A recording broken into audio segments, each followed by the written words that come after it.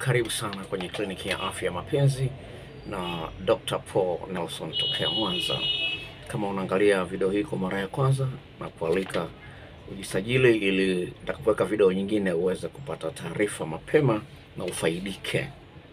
Mada nilionayo leo inasema kwamba mke kuhangaikia uboo na kuchezea bila kunyonya ndio mtindo wa kisasa.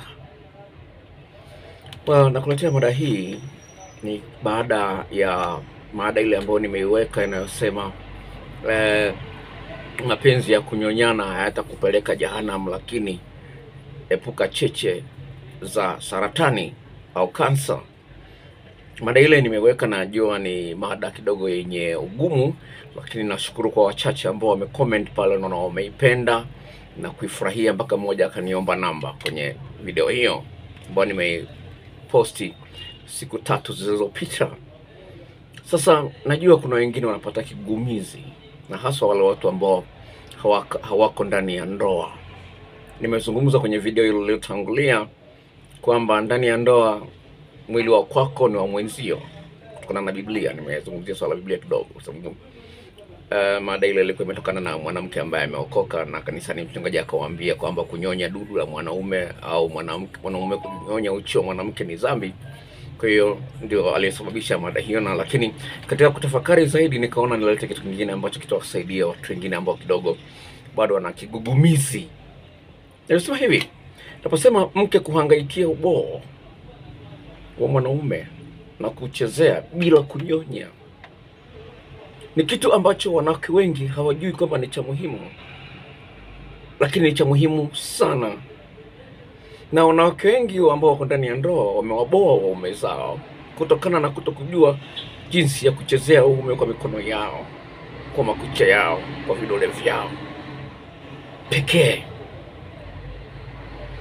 Sasa unaweza kusema ah, wanaume wanaogopa kwa udani wataumia. Ah, ah, sijasema uchezee kokwa.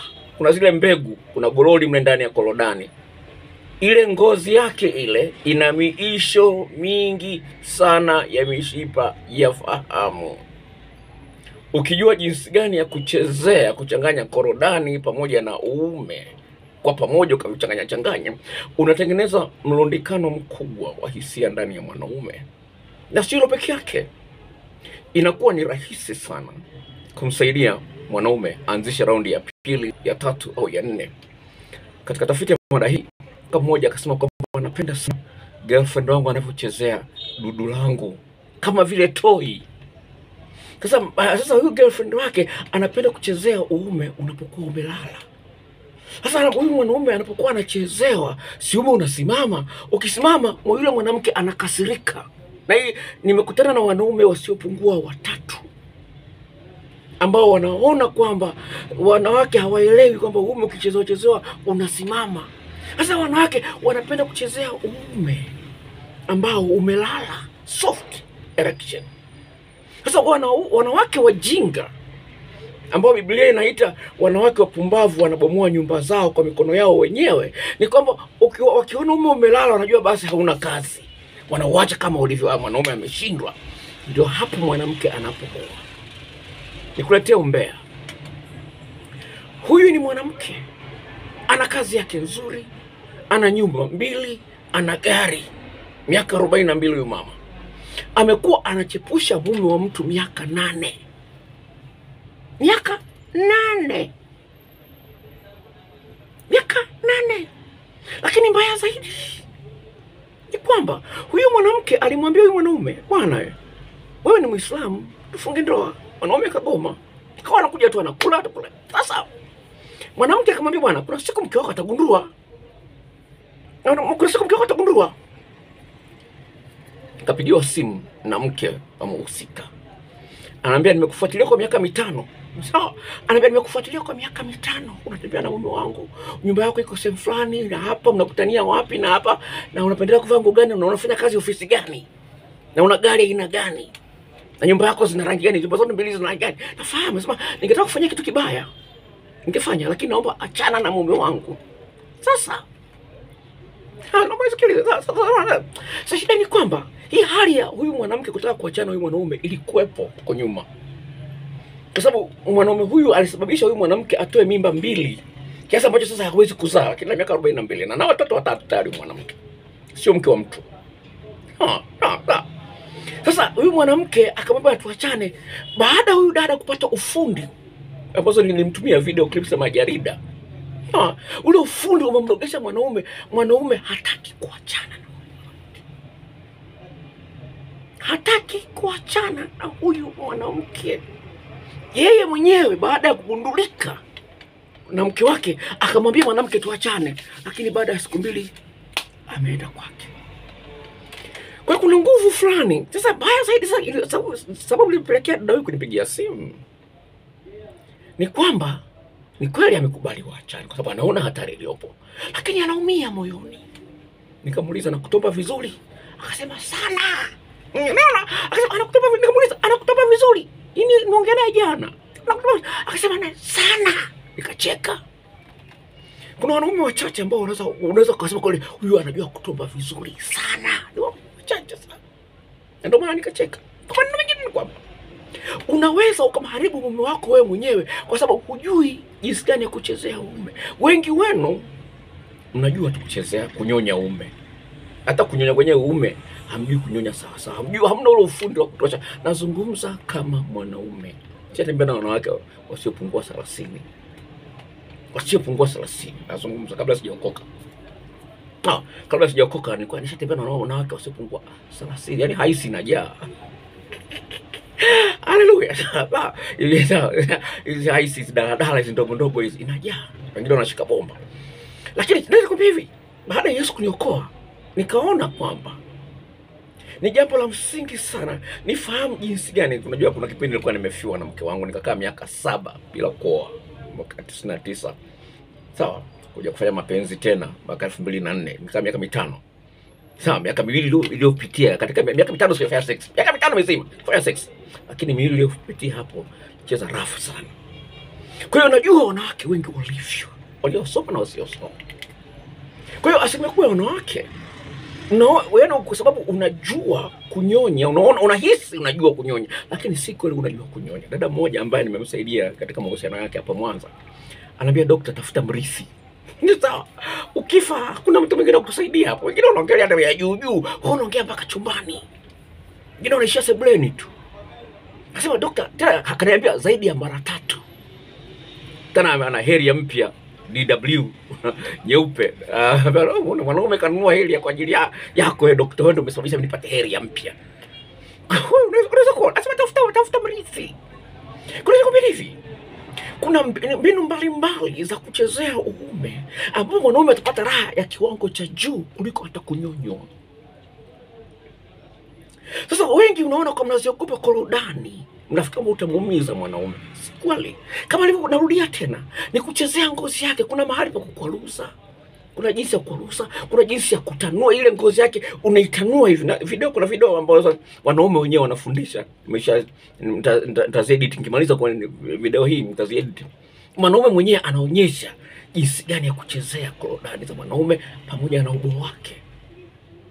Sasa unakuwa unaboa kwa sababu mambo unayoyafanya hayatibui hisia kwa kiwango cha juu sana. Sasa kama nilivyokuambia, kuna wanawake ambao wanajua umuhimu wa hilo na wanasema kwamba yani, nasikia raha tu kuchezea uume wa mwanamume.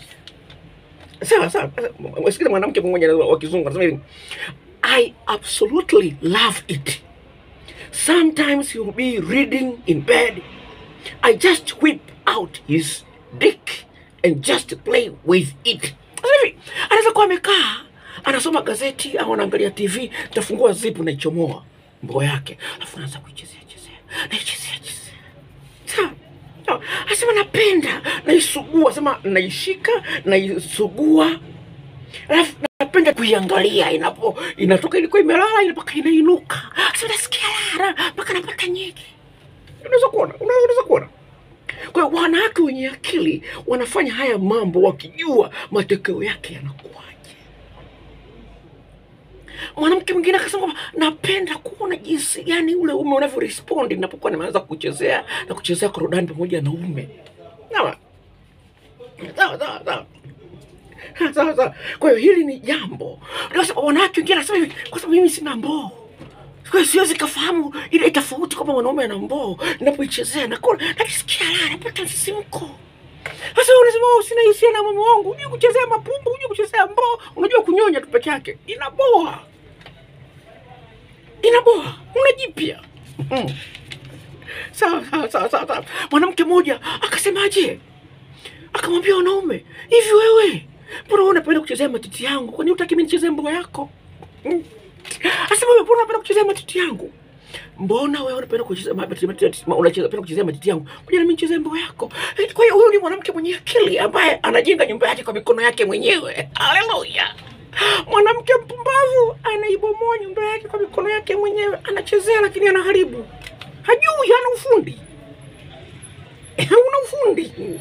Kwa hiyo mikono yako ina nguvu, na Mungu akasemaje? Atabariki kazi za mikono yako. Haleluya!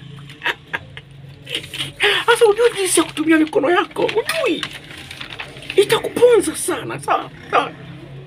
Mm. Eh, Sasa sasa mwingine akasemaje? Mimi mara nyingine hata mwana boyfriend wangu anapoenda kukojoa napenda nishike nimwangalie anavyokojolea shika jamaa anakojoa anakuishika tu anaona raha mwanaume anakojoa ndoa imeshikwa na mwanamke akojoe vizuri unaona wanawake wanajua mapenzi wana ubunifu mkubwa sasa huna ubunifu wote. Unajua mambo matatu kati yako kumi na saba. Utaboa. Mwanaume anajua kwamba utakifanya nini. Hauna jipya. Huna cha tofauti. Sawa. Ni jambo la msingi sana sawa. Sawa. Sio lazima unapochezea ume ule lazima mfanye mapenzi. Sio lazima. Hata napenda kurudia hii point kwa sababu ni ya muhimu sana. Ukijua jinsi ya kutumia mikono yako kuchezea korodani na ume mwanaume hataweza kuishia goli la kwanza. Lazima itasimama. Inapokuwa imesimama akishangaa imesimama alikuwa hajazoea inasimama mara ya pili. Alikuwa hajazoea akiona imesimama anataka kuingiza mwambia ah, bado sijamaliza kazi yangu. Haleluya. Mimi kama msaidizi sijamaliza kazi yangu. Kwa hiyo ni jambo la msingi sana sana sana sasa mwanamke mwingine akasemaje? Napokuwa naichezea kwenye akili yangu nakuwa nawaza vitu vingi sana. Naichezea kwa mikono yangu wakati naishika imelala naichezea korodani na zile ngozi ya korodani na hivi iko kwaruza kwa kistaili zake. Sasa kuna vitu vinaendelea kwenye akili yangu inaletea raha. Hmm. sawa sawa sawa Haya ni mambo ambayo yanawezekana kabisa. Sasa wewe umekalia kimoja tu miviwili tu, unaona kwamba inatosha, itakula kwako. Agizia hizo video, zipo, utaona wanaume wenyewe wanafundisha jinsi ya kuchezea korodani na ume kiutani utani tu, kinaleta raha na inabadilisha ladha ya tendo zima la ndoa. Tuwasiliane, nitakutumia kwa njia ya email. Kama una WhatsApp lazima utakuwa na email, nitakuelewesha. Namba zangu za simu ni zifuatazo: sifuri saba tano nne sifuri tatu tisini na tisa tisini na nne naiandika hapo chini hiyo namba sifuri saba tano nne sifuri tatu tisini na tisa tisini na nne zero seven five four zero three nine nine nine four Mr. Gamba kutoka Ubelgiji.